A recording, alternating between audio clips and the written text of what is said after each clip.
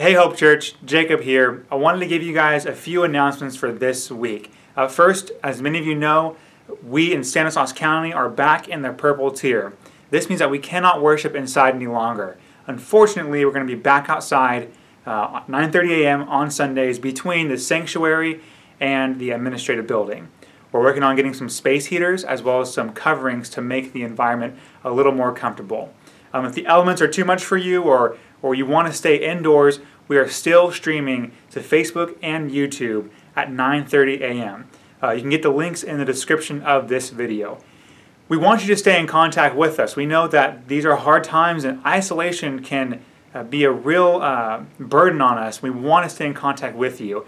Please, if you, if you need prayer, if you want to communicate or just say hello, call one of the pastors at Hope Church, call the Hope Church office, um, and we can get in contact with you. We love, we would love to chat with you, love to stay connected with you. All that information will be in the description of this video. Also, Food Bank is this week, this Saturday, uh, uh, between 9 and 11 a.m. Uh, we would love for you to show up and help, but what we need is turkeys to give out to families that uh, wouldn't otherwise have turkeys this Thanksgiving. So if you could donate, if you could help out, we would love your help. We would love your donations. Again, all this information in the description. We'll see you guys 9:30 a.m. Sunday morning outside.